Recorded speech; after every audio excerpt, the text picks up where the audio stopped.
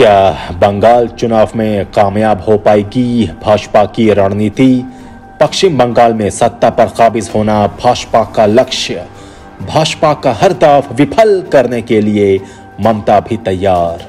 राज्य में कुल मतदाताओं की संख्या छह करोड़ संतानवे लाख साठ हज़ार आठ सौ अड़सठ। नमस्कार, आज़ाद सिपाही विशेष में आपका स्वागत है। मैं हूँ राकेश सिंह।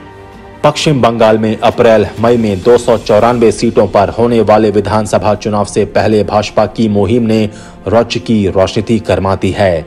भाजपा चुनाव से पहले ममता को कमज़ोर करने की रणनीति पर काम कर रही है और इसी रणनीति में उसे आशातीत सफलता भी मिलती दिख रही है। वहीं भाजपा की इस रणनीति को भांपकर ममता बनर्जी पार्टी और संगठन को भरसक एकजुट रखने में जुटी हुई है। ममता के सामने चुनौती यह है कि उन्हें एंटी इनकम्बेंसी के खतरे से भी निपटना है और सत्ता पर भी अपना कब्जा बनाए रखना है। वहीं चुनाव में 200 सीटें जीतने का दावा करने वाली भाजपा बंगाल चुनाव में इस लक्ष्य को हासिल करने के लिए एड़ी चोटी एक करती दिख रही है। बंगाल में तृणमूल कांग्रेस और भाजपा की चुनावी रणनीति को रेखांकित करती दयानंद रॉय की रिपोर्ट।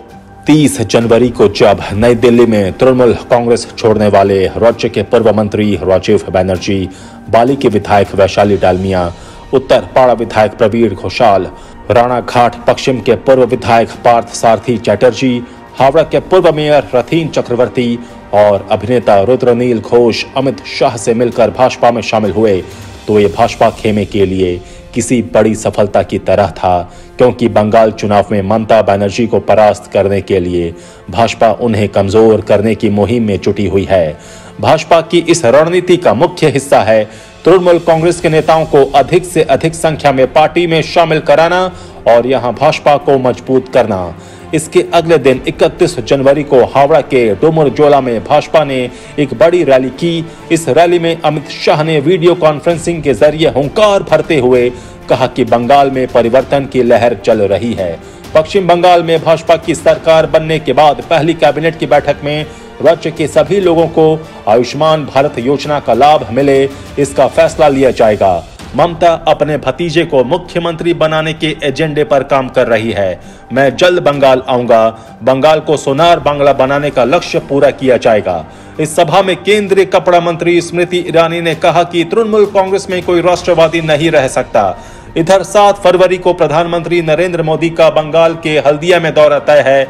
अपने दौरे के क्रम में वे तेल और गैस क्षेत्र की कई परियोजनाओं को राष्ट्र को समर्पित करेंगे।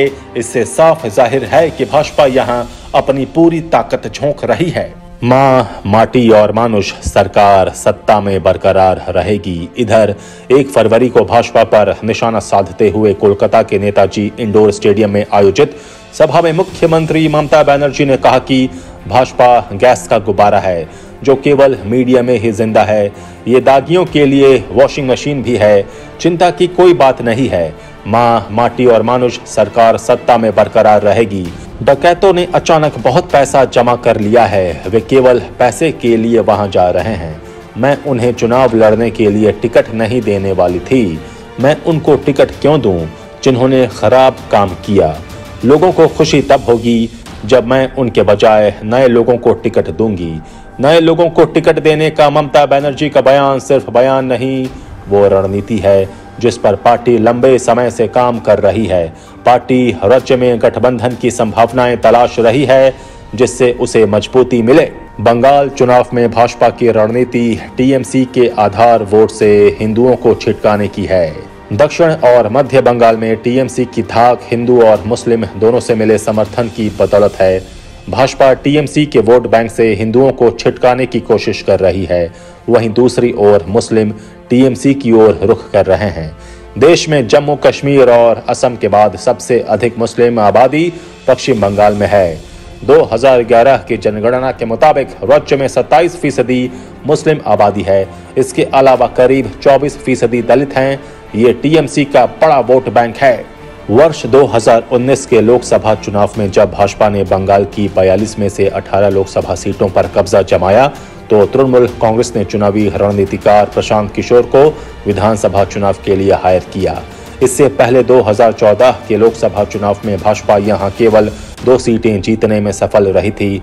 जब शुभेंदु अधिकारी समेत टीएमसी के कई नेता भाजपा में शामिल हुए तो प्रशांत किशोर ने एक ट्वीट कर सनसनी फैला दी। उन्होंने ऐलान कर कहा कि यदि भाजपा बंगाल चुनाव में दहाई का आंकड़ा पार करती है तो वो ये स्पेस छोड़ देंगे।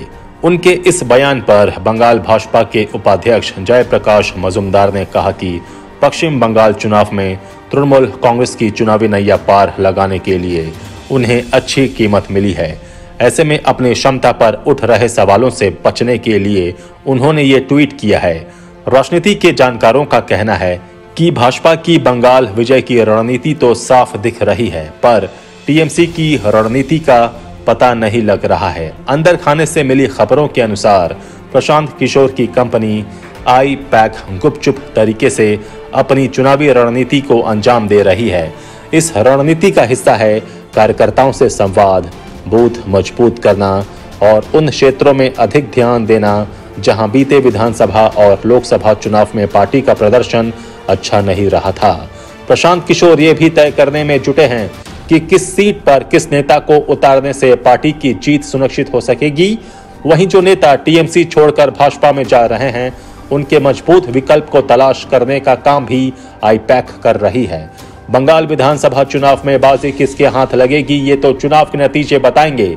पर इतना तो साफ़ दिख रहा है कि टीएमसी और भाजपा दोनों के लिए ये चुनाव प्रतिष्ठा का सवाल बन चुका है। आज़ाद सिपाही के विशेष में अभी इतना ही खबरों की और भी अधिक जानकारी के लिए आप पढ़ते रहिए अपना लोकप्रिय दैनिक अखबार, आज़ाद सिपाही।